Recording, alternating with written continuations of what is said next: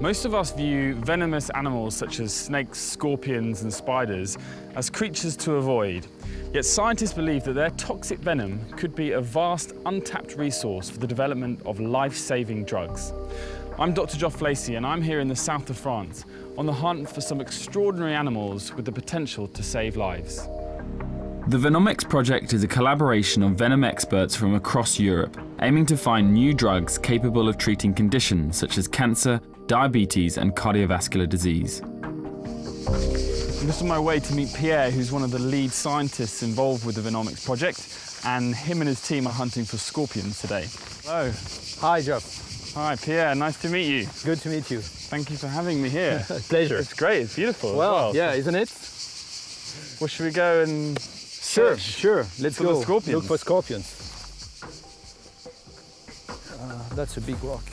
So is it literally a case of just picking up rocks and... Absolutely. Yeah, in this area to find them. Okay, here's a scorpion. Well, oh my God, yeah. All right, we found them. Whoa. Okay.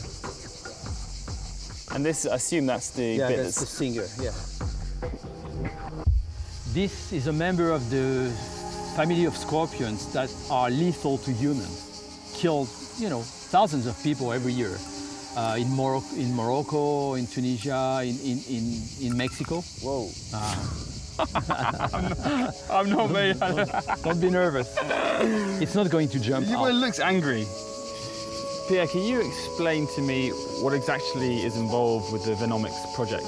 Uh, Venomics is a large-scale project aiming at discovery of new drugs. Instead of using, for example, medicinal plants to, Yeah. to, to look at new drugs, we're using animal venoms because they hold such a high potential and, and such a large number of uh, active molecules. Because it seems slightly incongruous that venom that's designed to hurt or kill you could potentially be the source of a life-saving drug. Yeah, but then again, a poisonous plant also has the same properties, and if you extract its compounds, one of those compounds, given at the right dosage, can actually cure you.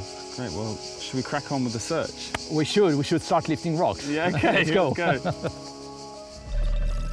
The toxic proteins or peptides within venom target and interact with specific cell receptors within the body, affecting the vital functions of the heart, nervous system, blood, or other tissues. It's the targeted nature of these toxins that gives them huge potential for the development of drugs which have highly specific and effective therapeutic actions.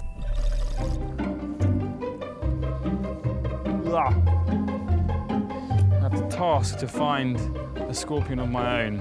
And I'm up against experts who have already found several themselves, so for my pride, I have to find one. No, no. Nearly a hundred rocks now. No. Oh my god, it's quite a big one. Starting to get a little bit frustrated.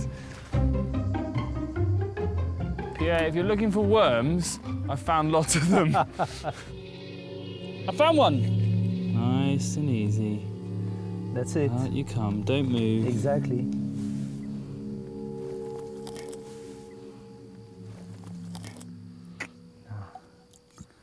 That's it. Whew, That's it. what a relief. Congratulations. Thank you. My first scorpion. Your first scorpion. The, the estimates we have currently are about 40 million molecules altogether from, from all venomous animals. So we know about three to 4,000 molecules only. Basically, we're key hunters. We're Yeah. looking, we're looking, You're for, looking for the keys key to- for the locks unlock, yeah. that, that interest us. If you can find the key to the lock on the cancer cell, for example, Potentially, it could be, potentially, provided there is a suitable lock or receptor. These creatures hold an immense potential for drug discovery. The Venomics project has laboratories in France, Denmark, Spain, Belgium, and Portugal. And the aim is to source the venom of over 500 species of animals, including snakes, jellyfish, ants, and cone snails. One of Pierre's partners in France is an expert in the breeding of large spiders. After you, I think.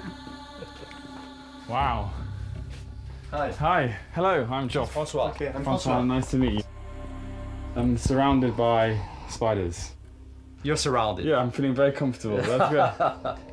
Mainly of them are belong for, to the family Theraphosidae, which uh, in English is bird-eating spiders. Uh, Bird-eating, okay. Sometimes called tarantulas, but it's uh, bird-eating spiders. and here you're breeding the the the spiders as well. It's not just spiders, scorpion, to milk them, to provide uh, venom for the research for, for Pierre. and you milk them here. Uh, yes, Francois is closely associated with the project because he's got a unique facility. You probably have no more than four or five people in the world who can actually breed the, the spiders and milk their venom. Studying a diversity of venom will, will allow us to uncover a diversity of molecules with different properties. Dare I ask, can we can we see some of them?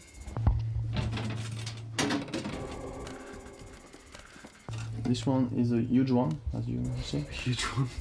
You have to be very calm, still, and breathe a lot.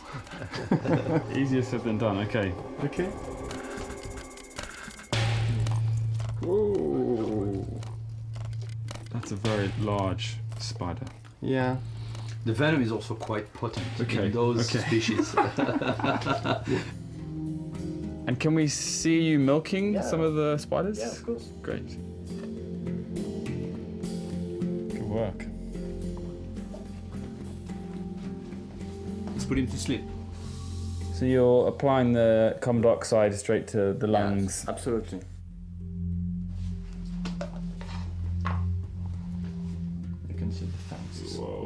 Now you can the fangs. The poisonous glands are covered from muscle, and when I put some electricity It causes the muscle to to Contract. contract, and uh, expels the venom. Oh yeah, yeah. You see the venom? Fantastic. Yes, of course. She's wicked.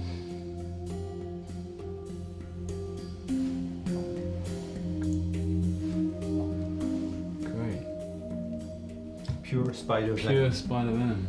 So Pierre, this sample of venom can now be sent to your laboratory for analysis, is that right? Absolutely, yeah, to being dried, yes. Fantastic.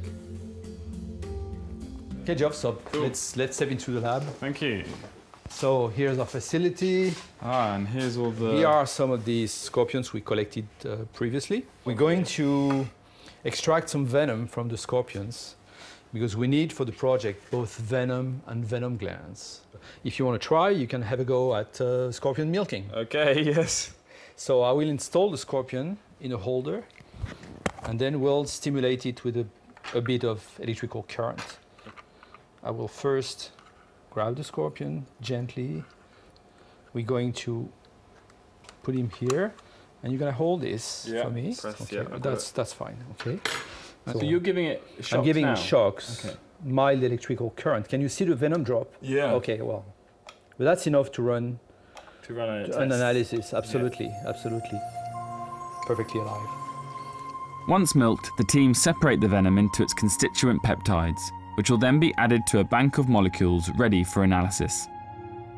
This project has the same excitement in the fact that it is, as you say, this kind of leap into the, the unknown with such a strong chance that you'll find something of interest. You're exploring something that's never been explored. It's like going to other planets. You know, Yeah. as a scientist, intellectually extremely exciting.